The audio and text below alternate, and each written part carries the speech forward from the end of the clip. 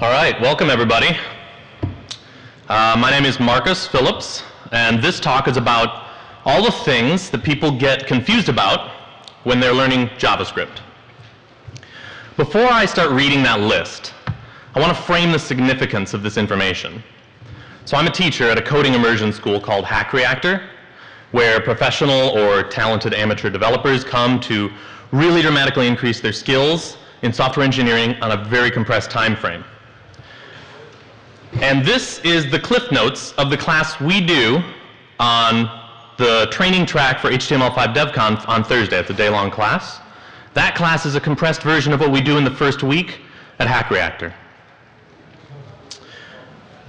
So I get to teach a lot of things in addition to JavaScript. Everything from computational complexity theory to database design. And my job puts me in a great position to study people and exactly what the breakdowns are for extremely smart individuals who try to understand various concepts related to programming. Today, I'm going to cover some of the types of breakdowns that we see for students learning the language constructs of JavaScript. We cover JS fundamentals in about four days, so this talk is a, just a fraction of what we've mapped out. But it is enough to help you either learn or teach this one aspect of the developer's workflow more effectively. There are some really valuable conclusions to be drawn from noticing how consistent the patterns are in how students get confused.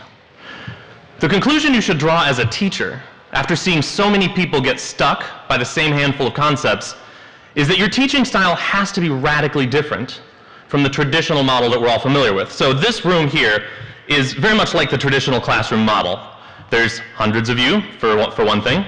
Uh, most of you are not expecting to be called upon to uh, demonstrate that you understand what I'm saying. Uh, these are features that we're used to in a traditional learning model that conceal the fact that nobody understands what you're saying when you're up here. Nobody. It's really true. Uh, but if you know that everyone is getting confused in the same way, you can forgive your audience for not completely tracking on what you've said so far and start taking responsibility to provide them the lesson rather than provide them merely the information. So, uh, for example, you, sir, with the glasses and uh, the Kindle, I think it is. You have a beard. Yes, you. Um, what's the point of my talk? what would you guess the point of my talk to be? Um, to get, uh, get an overview of some JavaScript concepts. That's a reasonable guess. That's a very reasonable guess. Uh, this is the first two paragraphs of my talk. The first sentence of the first two paragraphs told you what my talk was about. Um, it's good that you could hear me and that we're all having fun sort of talking back and forth, but the, the activity of learning is much more difficult than hearing correct statements. So the first point I want to make the first point I want to make is that the problem of feeling out of sync with an in-person lesson is universal. Almost all of the students, almost all students anywhere, start with a creeping sense that their question might not even pertain to what's being said in the lecture. They worry that in fact, their confusion is probably totally misguided and would be an embarrassing waste of time to put words to. And I'm not just talking about the struggling students, I'm talking about all of them, regardless of their background or their aptitude, nearly without exception. So at Hack Reactor, we are very fortunate to have a room full of really remarkable people. And the most impressive programmers we can find, budding programmers, our, our reputation allows us to take the pick of the litter.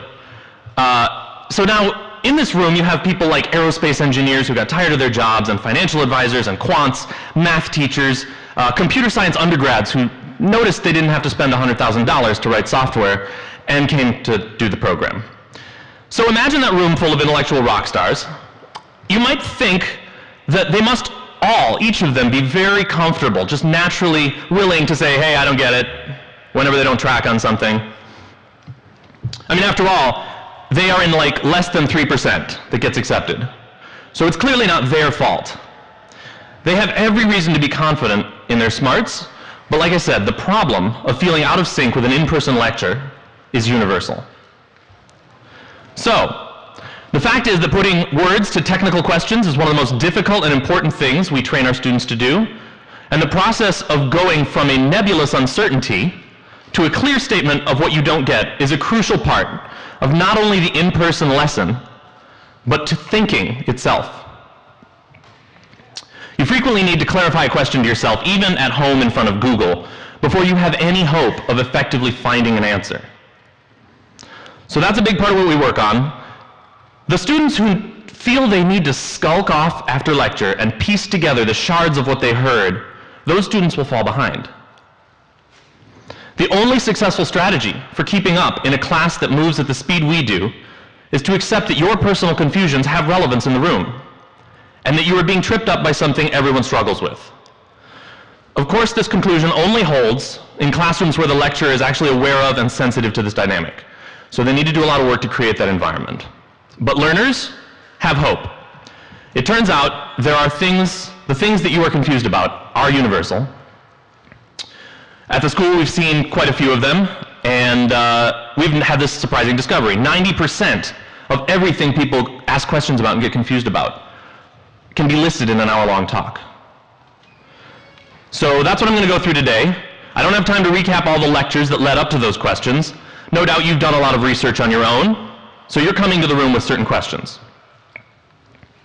But just knowing that the problems are out there and that they're not unique to you will go a long way towards confidently asking questions of your teachers and your colleagues when you might previously have thought them to be dumb questions.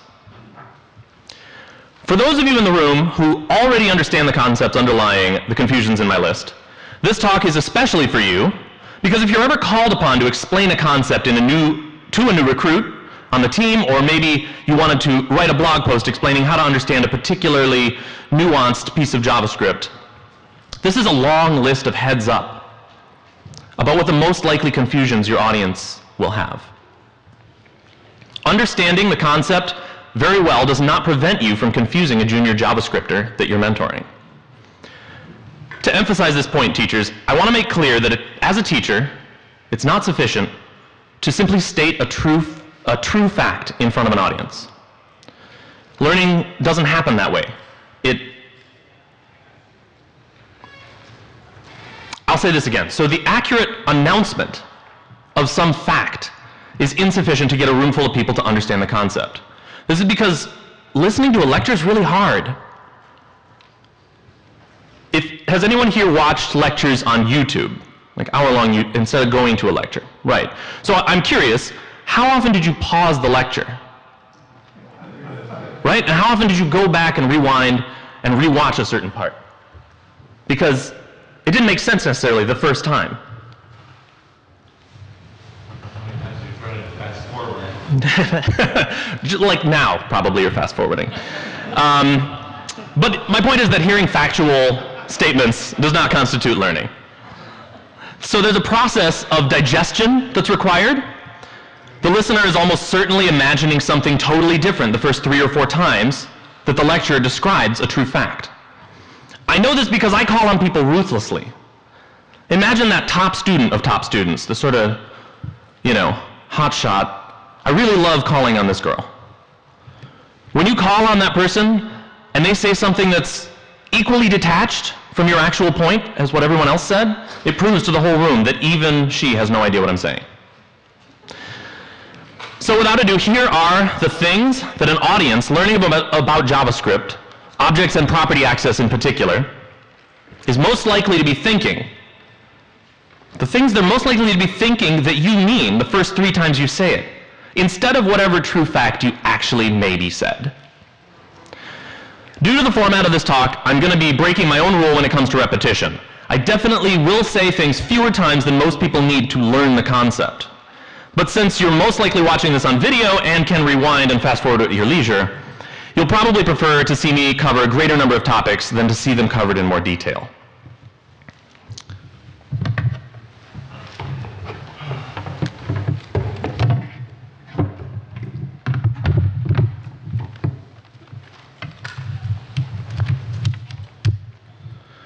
Okay, so let's talk about objects and property access and where people get tripped up. It's kind of interesting. If you have an object and you want to assign a property to it, it's as simple as using brackets and passing a string in between the brackets. When you want to access that property later, you do the same thing. Uh, this would alert black. Dot access expands into bracket access. So if you've seen dot access to an object, it's really an alias for the same thing. Now, this might seem uninteresting. Maybe you've accessed objects many times before and thought that it was unchallenging. But here's where people get confused. It's kind of some subtle and surprising ways that they maybe are imagining you mean when they first learn property access. If I say property equals color, so I've got some variable, I'm allowed to put that property, that variable, in between the brackets and do a lookup. But I can only do that with bracket notation. People forever want to use a dot followed by a variable name. It's really odd, or at least it was odd to me because I'd been programming for long enough that it was a bit of a surprise the first few times I saw it. But I've seen it a million times. Um, furthermore, if you're going to use the variable name, you can't put it in quotation marks. this is the inverse problem. It is not allowed to pass a string to the bracket access that has the same name as some variable in scope. So, as a reminder, this is the correct formulation for property access, or the alias dot notation. And one thing that will lead you out of a lot of confusing spots is mentally to substitute a bracket and quotation marks in place of any dots. Or vice versa. If you see bracket and quotation marks, you can turn it into a dot. There are a lot of things you can't mentally transpose with a dot. At this point in a lecture in a classroom, I would call on someone and ask, what can't you do with a dot? And they would almost invariably go, oh, I, brackets? I, so, regardless of how clear you hope to be, um, these are the types of things that I can expect will get confusing. So in this case, the string that you're passing in needs to be a string, so it needs to have quotation marks around it. You are not allowed, for example, to simply type out the word you're, you're curious about the property of. This would fly if you were using dot access. It will not fly if you're trying to use bracket access to, to access the COLOR key. In this case, it's going to do a variable lookup on color, which is not existent, and throw an error. Here's where it gets interesting. What do you think it does if you pass a string in that happens to look like an integer? Nothing interesting happens. It accesses a property like always. People are starting to think ahead, people who are at least somewhat new to JavaScript are starting to think ahead to uh, arrays, and they're starting to think, well, but arrays are different. We're going to see in a minute that arrays are really not different. One interesting thing here is you're allowed to omit these quotation marks with anything that stringifies to the string you're interested in. So in this example, the second uh, access to the zeroth element, the, the key zero, is being automatically stringified. You can do the same with the first access. You can sort of invert these quotation marks, like so. Or you can leave them both off. In all three of these examples, all four of these examples, quotations on both, quotations on either, or quotations on neither, uh, you're doing property access. The trick is, your interpreter is running toString on whatever you put between the brackets. And that's not necessarily intuitive to people who are just learning the language. So now here's an interesting question. If I switch this up so that it's an array instead of an object, here we had obj equals curly braces, and here we have array equals square brackets. What, what do you think will have changed about this property access? You've raised your hand. I never call on people who raise their hand because they think they know the answer. I'm curious, actually, whether the room at large, unself-selected, knows what's going on. You there in the corner, how do you think uh, it changes matters because arrays, I'm, I'm accessing properties on an array rather than on, on an object? I'm sorry, uh, this fellow here with the hat. No one is sure. Let me just assure you that no one is sure. Now, interestingly, and I don't mean to pick on you, honestly, I, I, I think everyone in this room has a valid, I hope it's been clear my thesis, that everyone has valid confusion about this topic. I don't mean to pick on you, but I said maybe 11 sentences ago that arrays we will see are no different. Nothing is different about this property access. And one of the most difficult things to teach people out of that I've seen is that they add complexity to the topic. They believe that there's more going on than they understand, and they say, well, but arrays, you know, something. In fact, everything you've learned holds true, and it will work just like an object will. So this array allows me to access uh, properties, either to set them or to get them, using string or number keys that will be turned into strings, just like an object does.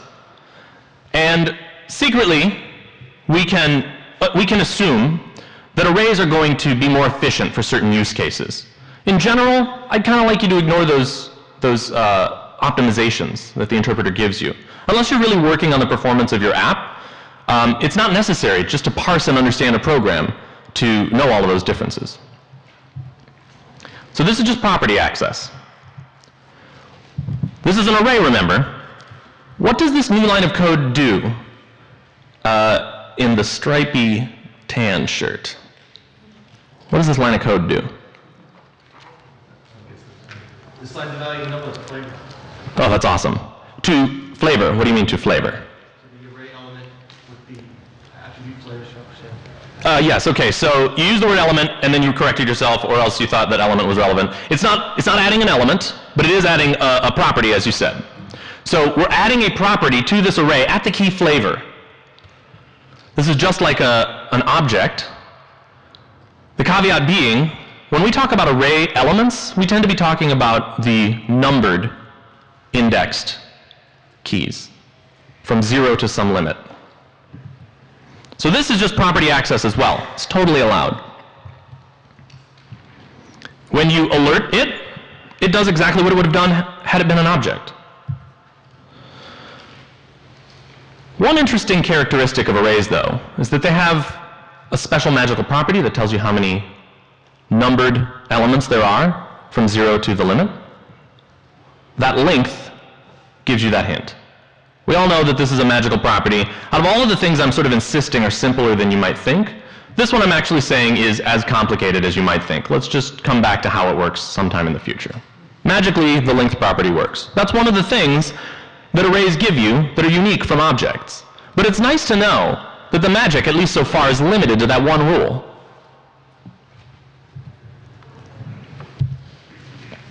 So this would alert one. We're allowed to use brackets for the length property. I think the interesting thing, the interesting observation here is that we're allowed to do it because there's nothing special about the length property. It can be accessed in all the same ways as all the other properties. I mean, I say nothing special, and then I made that comment about all magic. I realize that's ridiculous. So let's say this array, instead of being an array that has only the zeroth element uh, written, or the first element, I suppose, it has two elements in it. Length now magically changes, even though no one has done manual property assignment to length to make it correct. It now alerts 2. There's a common mistake in JavaScript, and in fact it gets debated for a long time, I think, in people's careers. They argue as to whether or not you should use one type of for loop or another. So let's just, let's just examine what the characteristic differences are, uh, and how people get confused about them. So this loop has instructions to literally start at zero and climb to some limit. The, the instructions are encoded in there. If you're, if you're at all familiar with C-like languages, this feels natural to you. If you log i, it's going to log two numbers, not strings, a zero and a one. Why would it not log strings? I just told you that all the keys were strings uh, with the red hair in, next to the aisle here. Okay, that's fine. Wasn't paying attention. That happens. Like you tune out. You have to write something down. You, had, you were totally writing something down. How could I expect you to know what I was talking about? It's ridiculous. So let me ask you again. Why would it log two numbers rather than two strings? Now the keys, remember, are always strings on an object and on an array. They are all strings. So why is it logging numbers?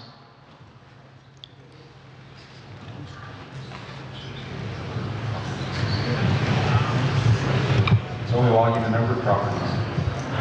Uh, not actually quite right. It's logging numbers.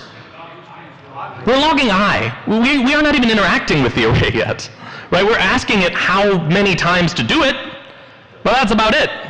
Other than that, we are not really interested in the keys of the array. So I want you to read this style of block as being literally just a, a set of instructions for how to proceed, like it's procedural code. It's practically a while statement with some extra cruft around it. By contrast, the for in construct actually does some interesting things. It collects a list of all the keys and then iterates over an array of those keys. So in this case, although I'm using the name i for consistency's sake, I would usually call it uh, k or key in this case. Because I'm not actually going from some zero to some ceiling uh, numerically, ordinally. I'm going across a set of keys. If you want to visit all of the keys of an object or an array, regardless of whether they're numbered, you have to use this construct. And that's why.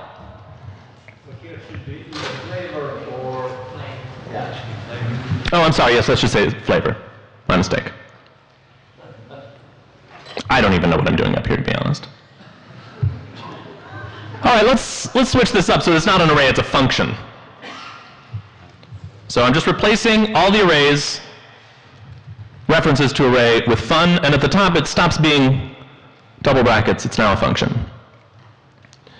Um, what do you think is changed in my code? What will what will change and be different and break, if anything, in the red? Yes, yes, you. you know, you're turning redder. I'll, I'll, I'll, I'll, uh, I'll alleviate the problem here. There's at least one problem. Functions don't have the same length property. Remember that length was magical? Uh, functions Let's just assume for a moment that they don't have a length property.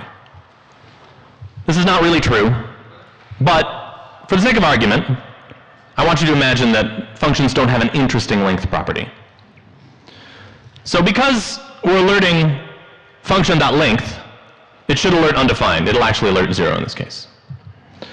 But regardless of whether it's undefined or zero, whether the property is just missing because it's not a magical array with a magical length property, we certainly are going to walk across the elements contained within that function. Now, one, one misstep that at least some of you are making right now is that you're confusing the contents of the function, by which I mean the key value pairs that are stored on it as an object. You're confusing that notion with the notion of variables in scope in that function, inputs that got passed to that function, maybe even work that gets done in that function. Luckily, this function has none of them. The function on the first line has no inputs, no local variables, and does no work. So it's hard to get it confused with uh, the prop to get any of those concepts confused with the properties that are stored on the function as if the function were an object. Centrally, and this is the huge takeaway for anyone coming from another language into JavaScript, this is probably the central takeaway that you will benefit from if you really sort of take it on board. And that is that functions much like every other value in the language, are objects. They have the ability to store properties. That transition I did a, a, little while ago and sort of surfed past where I transitioned from array to function, it's very significant that there's no difference in how the property access works. In many languages, you aren't allowed to treat functions as objects that can be interacted with from the outside. You can only invoke functions to make them do work. They can never store properties. JavaScript, this is not true. One analogy that I really like for understanding functions as first-class objects is to think of them as machines. So every machine is itself an object, much like a, a, statue is an object and a blender is an object. But a blender has a button on it. I can press the button on the blender and it'll do something interesting.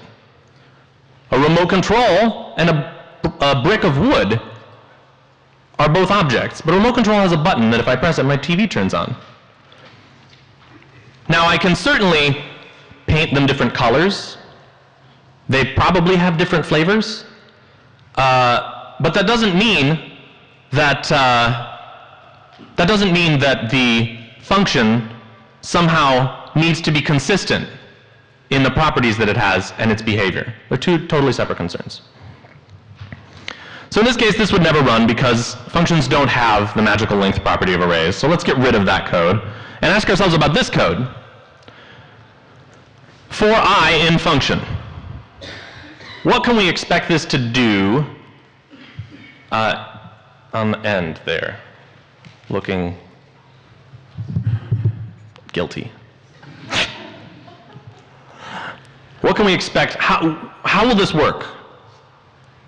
Will it work the same or differently from before? When it was just an array? No idea. Reasonable. Um, if it were the case that functions are objects and can have properties, and that property access is identical for a function as it is for an object, then the seductive choice would be that nothing would happen differently. It would be the same. There'd be no effect. The only thing that might confuse you, I think, about this is that we just had some code that did change and was different. We are allowed to reason about the code that we got rid of differently than the code that I'm examining down below. The code we got rid of behaves differently merely because it relies on the length property. But other than that, my promise is unbroken. Functions, like objects, like arrays, like pretty much everything in the language, are ultimately objects and can have property access. So let's uh, open this function up so that I can fill it out with some interesting aspects. Let's say that it takes an input. And let's say that it does something interesting to that input. What could possibly be confusing about this line of code? My discovery is that there are two very confusing things about this line of code. One, if you are just learning this language, maybe you've come from a language that doesn't have object literals, maybe you're just learning programming for the first time, uh, or maybe, who knows, those curly braces sure look like object literals. There's a syntactic ambiguity that it's a little hard to tease apart. The second thing that people don't seem to intuit without necessarily being told is that the body of the function doesn't run. So if I were to run this program as it stands, we would never alert anything in uppercase. That would not happen. In this particular code snippet, that might seem obvious, but you'd be surprised by how many times that is the source of people's confusion. They imagine that just because they see the code on the screen, that means it must be running. That code will not necessarily run until we invoke that function. So let's do it. Let's invoke the function. This is going to alert hi. There's yet another ambiguity on the page. These parentheses are very confusing if you're new to function creation and function invocation, or if you come from a language where parens are not on function definitions, or something like that. The fact that these two parens look so similar to the ones on the first line is really problematic. When people see the above, they haven't really identified the, the huge significance of F-U-N-C-T-I-O-N. That's a very significant word to see in your program. It means that we're not making any, any code run. We are merely building a machine for use later. And I'll repeat this because I'm positive that this is something that some of you are going to continue to get tripped up about. When you see a function definition, that is to say, when you see fun, ction, followed by two parens, that is not the same thing as a function invocation. you have to look for some identifier other than function. Other than the token function, anywhere that you see a different identifier with parens next to it, that's going to be a function invocation. Now, telling you this in words might not actually help. It usually helps when you're having this problem. Um, it's hard to imagine how you'll find yourself in a situation where this happens, but it happens a lot. So I'm going to move this function invocation over to the right side of the screen just to make some room for myself. And I find this next leap really interesting. Because to me, having written JavaScript as long as I have, um, the next transition feels perfectly natural. And I was very surprised to see that it is not natural to most people. Fun is a variable that refers to the function at the top. If I merely make an equivalent function in line, rather than referring to a variable that has an equivalent function in it, there's no meaningful effect on my code in this case. These two are equivalent. People are very reluctant to invoke functions immediately after their creation, right in line. Those parens at the end of this function, uh, function definition lead people to all sorts of odd conclusions. It's especially tricky to distinguish them from the ones prior to the function body, for example. But something very different is happening. This code does run immediately in line. We could erase the first line of code, and this last line would still work. So let's move on to a rather different example. And this one, this one gets into, uh, depending on how people have used scopes before from other languages or just starting out programming, um, people will frequently want to access variables that are local to some other scope.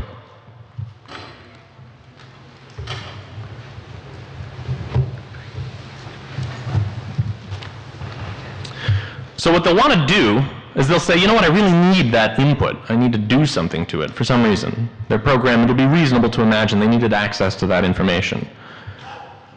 And they maybe haven't really internalized the complete privacy of any local variables. The input there, that variable is local and private to the fun function, and it'll always be. It's impossible to address that particular variable outside of those two curly braces on the top line. But people try all sorts of things to get access to it. They try referring to it directly, just talking about input down below here somewhere. And then they think, ah, I got it. I'll get, I'll get a dot in there. That'll help. uh, fun dot input has no relationship with input. And this really, this really strikes at the core of one of the things that I think is tricky for people who have not done a ton of programming so far. I personally relate to the feeling of, uh, of confusion that, uh, that these students would have for why people talk about scopes and objects and properties as if scopes and, and objects with properties on them, right, variables in scope and properties on objects, as if they were very clearly and obviously different things. If you're familiar with these two concepts and you use them every day, it seems obvious. Why, how could you get confused? They're, they're used very differently. But this is a very tempting mistake to make. So one thing that I'm not doing a ton of in this talk, because of the constraint of the medium, as I mentioned in the beginning, is I'm not getting a lot of questions from you. But I'd like to make a side note that one of the best ways for me to tune what I'm saying to the audience at hand, if I didn't have insider information from having given a day-long class to this audience on Monday, I would be maybe, I would maybe as a speaker feel insecure that I was addressing the wrong audience that the things I'm saying are too high level or too low level. But I know that there's a significant showing. I can see some of you who are at my class, um, right, uh, who need to know this stuff and need, need it uh, repeated by all means. But there's a couple of things I'm not doing in this format that I'm, let's say, doing only a tiny bit. One is I'm not calling on people a ton. The second is I'm not asking you what questions you have or, or where you're at. So I want to take a quick moment I'm going to keep calling on people in a rare basis, but I want to take a quick moment to take one or two questions so that I can take, get a sense of how much of what I'm saying is really resonating and is exactly what you needed to know and how much of it is over or under your current level. Can somebody ask me a question about any of the stuff we've talked about? So when you traced out the keys in the array object, how come we didn't get length? Back here when we first had the keys here. In, the for in loop. Ah, yes. What was the question? So in this for loop. Ah, why did we not get length? That's a great question. Another piece of magic that JavaScript supports, and in fact, this is one of those things that you encounter down the line. You can actually ignore this piece of complexity for a long time, and then one day you bump into that. You say, wait a minute. I know there's a length property, and come to think of it, there's a slice and a splice and a push and a toString. Where are all of they? I don't get it. Uh, there's a nature that properties can have called unenumerable, which makes them not visited in for in loops. And that's about the only thing that you could detect about an unenumerable property is that interrogating the object will reveal that such a property is exist, exists and is the present, but when you iterate over them with a for in loop, they're omitted. Yeah. In that same for in loop, wouldn't it return zero, one, and flavor? Yes, it would. That's just a typo in the slides. So is it the mere aspect that we uh, put assign it to an empty square braces gives it the property, the length, and then the additional? So in JavaScript, empty square braces, uh, or square brackets just at all, whether they have elements in them or not, it's an object literal. It generates an array, much like if you had used a constructor, like the array constructor. Somewhat different and perhaps better. But it generates an array that has all of that stuff. The length property will be magic and available from, from the inception of that array. I saw one or two more hands. Yeah. Uh, function has arguments. How come when you do things, you don't see the uh, arguments as a property of uh, a function? How come there is no such thing as fun dot arguments? Is that your question? I know, I'm, I'm getting ahead of myself. I know a function has arguments like input. Why, when you start examining fun, don't you see something having to do with arguments? When you say examining, though, I just want to zoom in on this question. You said when you when you examine the object, by which you mean iterate across the properties of the object.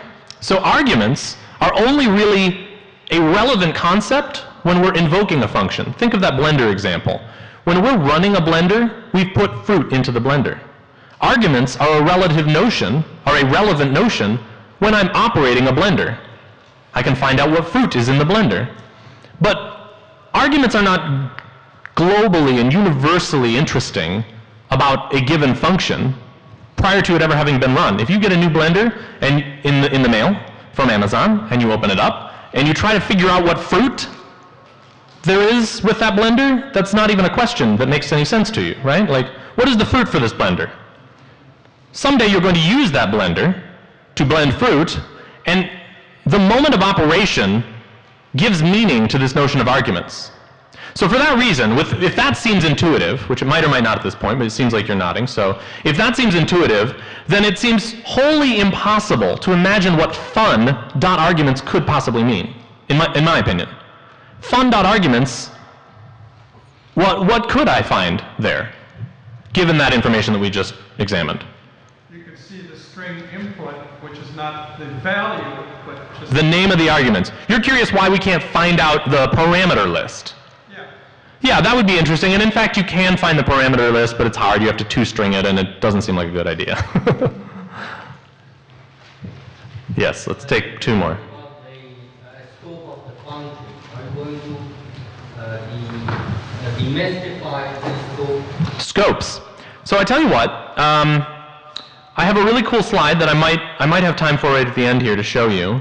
It's a visualization of how slides work. Right now we're doing code walkthroughs, uh, and I'm not doing sort of like in-memory representations of the objects and how they interact, but I do have one for scopes that if there's time I will certainly get to, because I think that's exactly the next thing after all of the content that I've prepared that I wanted to get to, but I just didn't think there'd be time.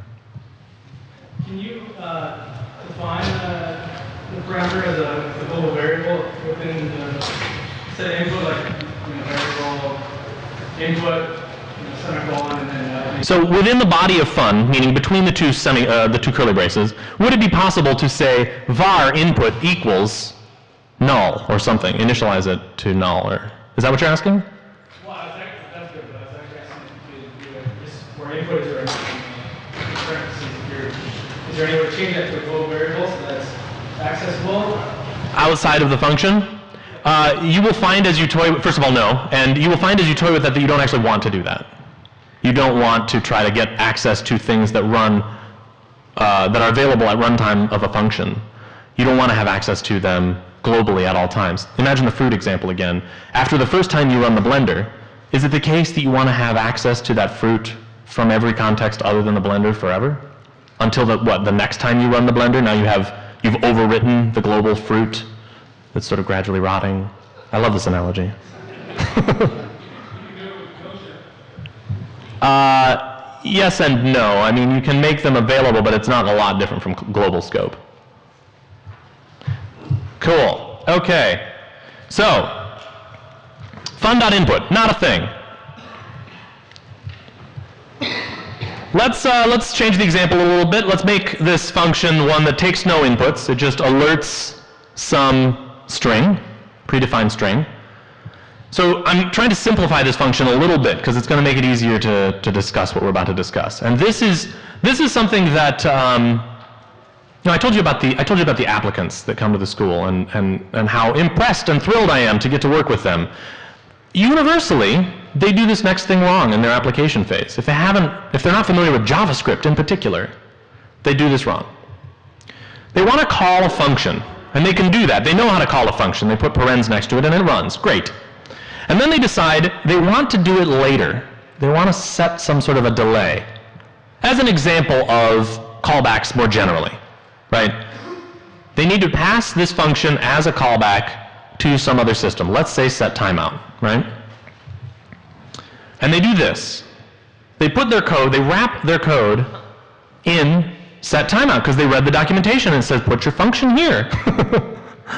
and this is one of those cases that I was talking about where the invocation and the definition of a function are very different. The invocation and the reference to a function are very different things.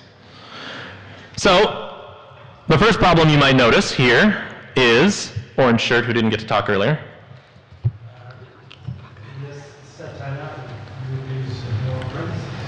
Yeah, so that's the second thing I was going to say, so I'll get to that. For, I'll say the first thing I was going to say, there's this semicolon is going to create a syntax error. Because it's not a statement. I don't get to put statements in the middle of an argument list. The inputs to a function. I don't get to do that. So I'm going to get rid of that. And then I run into the parentheses. Because as the code is currently written, the order of operations very clearly states that we need to figure out what fun evaluates to so that we can pass that value to set timeout as the first argument. Quick check. What do we really want to pass as the first argument to set timeout? Fella, burly fella with the blue shirt. Yeah, no, but in front of that other burly fella. but not behind you. You're the actual one. In front. No, the guy in front. Oh. That's right. What's the question? I don't remember. what do we want to pass as the first argument to set timeout? No, but now I'm really talking to you. the first argument is set timeout.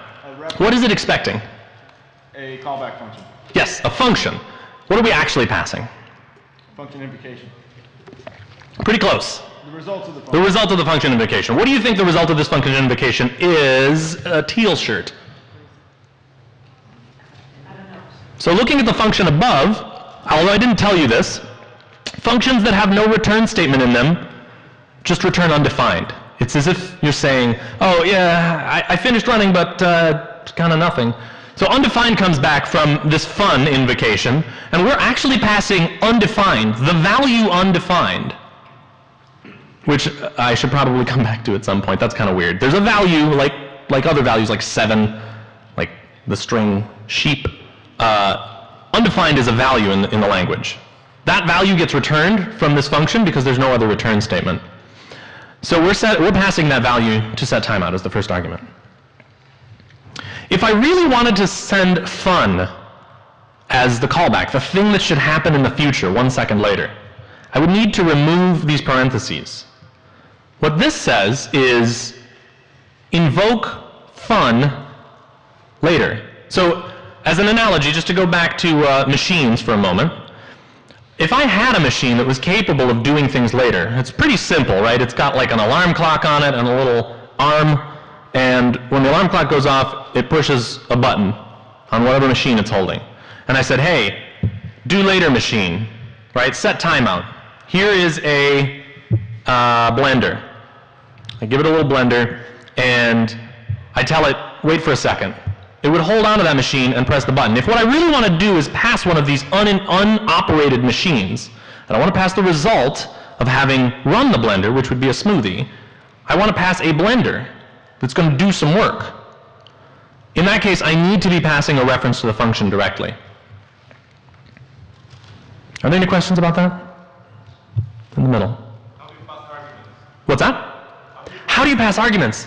What a great question. That's my next slide transition. How do you pass arguments? It, it, seems like if you don't get to write the parentheses yourself, because that clearly means something very different, that means do this now, and then whatever the result is, pass it along. How do we ever get to define the invocation time inputs? So there's a number of ways you could do this. Probably the most accessible is not to pass fun at all. Instead, pass a different function that calls fun with the right arguments. So I'm going to pass, let's say, an anonymous function, or really any function, but I'm going to use an anonymous function, that should call fun. So the first thing I'm going to do, well, I did it all at once. I thought that was two transitions. so what I'm going to do, in sum total, is wrap the entire block of code that I want done in an anonymous function, and I am now passing that function object as the first argument to set timeout. That function object has one instruction, one line of code in it, one statement. It's going to run fun. And if I had, if I had uh, inputs that I wanted to offer, I could do them in this, in this way without fear that my anonymous function was going to run immediately. Why won't my anonymous function run immediately? Um, mustache.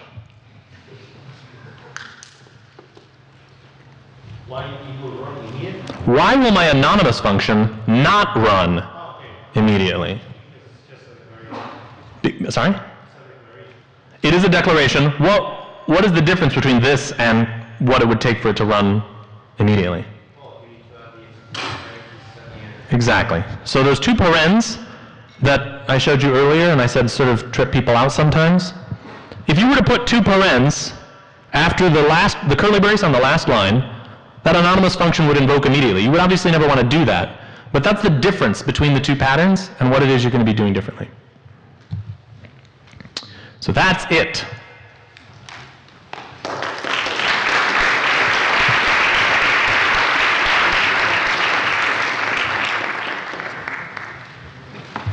It'd be great if that's how I ended. I just waited for everyone to walk out. uh, that's it. I really appreciate your coming. I'm going to switch over to the uh, scopes visualization because uh, I think that it uh, at least will answer your question. I think it's quite interesting. But for everybody else, um, if you found these topics interesting uh, and you're interested in learning more, the class that we're doing on Thursday for HTML5 DevConf training track uh, has been sold out for a long time, but if you come talk to me, I can probably uh, get you in anyway. Um, if you're interested in just more about these types of materials and what we're doing with it, uh, you can find me at Maracas on Twitter or, uh, or via the Hack Reactor website. Thanks for coming.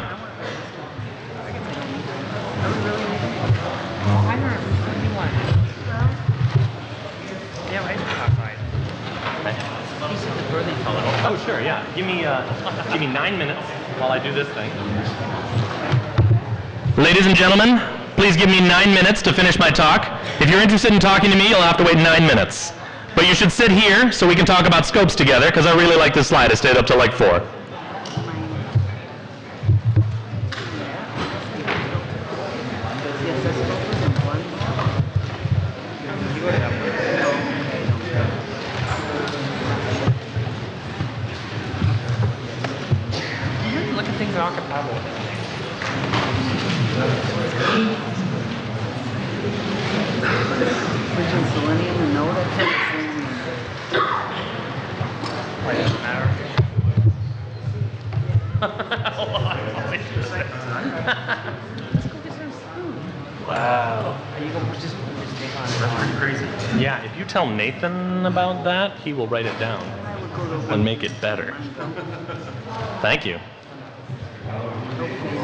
Yeah, I, he was sitting there. Nathan, this guy has something you would love to see. Okay. he doesn't want to see. Okay, scopes. We'll go quickly. What is a scope? A scope is a data store where variables hold values. It's a lot of key value pairings. It's a data store that in many ways shares nature, shares um, its behavior with objects. The two seem quite similar. They are similar because they can both store key value pairs. What are the keys in a scope? In, in an object, the keys are the property names. What do I mean when I say a key of a key value pair in a scope? This fellow with the gray. Yeah. The variable names are the keys in the key value pairs uh, in scope. So there's, a, there's an analogy there. Uh, you create a new scope once per function call, and this is what our visualization is going to make clearer. Scopes are not created on a per function basis. They're created on a per function call basis. Calling a function 100 times means there are 100 scopes. Calling a function 0 times means there are 0 scopes. With only one function, neither of those numbers is the number of functions that were in the system that I'm describing. So we're going to see that. Scopes nest, so when you, um, when you talk about a variable that is not in a local scope, uh, it's found in, it's searched for in the next scope out. And we're going to evaluate this code together. It's been colored with respect to what function body it corresponds to. So there is always a global scope. That's just present at all times. I'm going to start my execution uh, in this scope. Uh, ignore the, the red dots. I didn't expect to give you the rest of this slide. It doesn't mean anything. My execution, uh, my lookups are going to start in global scope. So the first line of code runs, and we try to figure out uh, what hero is. We run random hero and assign it to some variable hero, and it gets placed in there. So some random variable named hero, or some random variable, uh, some random string is generated, girl, and gets assigned to the key hero in that global scope. And then we declare a function, and that does much the same thing. And we start running our function. Notice we did not run any of the lines of code inside the function, as I mentioned earlier. We don't have to examine the body of the function until it runs. So we're now down at the bottom here. We're about to log whatever story comes back. And this, this function generates stories of the format boy meets girl, boy loses girl, boy finds girl, right? But it picks random words. So the first thing that happens is a scope is created because we ran a function. At that moment, we start running the first line of the function, which seems to be a variable declaration and assignment, which creates a more tightly nested variable in a more tightly nested scope. Then we, uh, we create a, a win function. This is what happens that's in support of the hero. That's a local variable as well. We create a fail function. That's present as well. And then we run one and then the other and then the first one. So let's generate that array of output mentally and fade this out because we are going further down the call stack. So the faded out ones are, are us walking through the call stack. We're going to run this individual line in order to figure out what that array is populated with. That creates a scope because we're running a function as usual. It is even more tightly nested than the previous one. Our execution uh, you know, interpreter context goes to this very tightly nested scope, and we create an action that is a local variable to the very innermost scope, and then we concatenate them all together. So we see girl trumps CEO is the result of just compiling together all three of those lookups. Girl falls all the way out to global scope, because that's where we defined our hero. Trumps is a local variable, so it does not need to fall through. CEO is in the middle scope. This string is generated, and we come back out. I'm now graying out that function scope because it is garbage collected. Now we run the second one. It creates a brand new scope, it runs the first line, creating a local variable, much like it did above. All of these are pretty much what you'd expect at this point. The same things are happening. As I gray these out, it means they're no longer relevant. The interpreter garbage collects scopes, or at least variables from scopes, that are inaccessible. The reason the interpreter is able to clear up that memory and forget whatever it, whatever it built when it built that scope and the associated variables inside that scope, the reason it can forget them is because there is no way for me to access any of those variables to wonder what value they could hold. If you examine the code, you'll see that no function can refer to any, no function that is currently in existence can refer to the variables that were in that scope, that were created for that scope. So now we're done with the first story, and that gets logged. We run the second story, and the same thing happens all over again.